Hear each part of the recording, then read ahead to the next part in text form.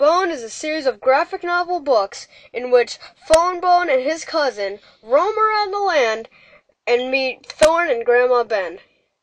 But they do not know they must beware the rat creatures that roam around, and Kingdok that is searching for him.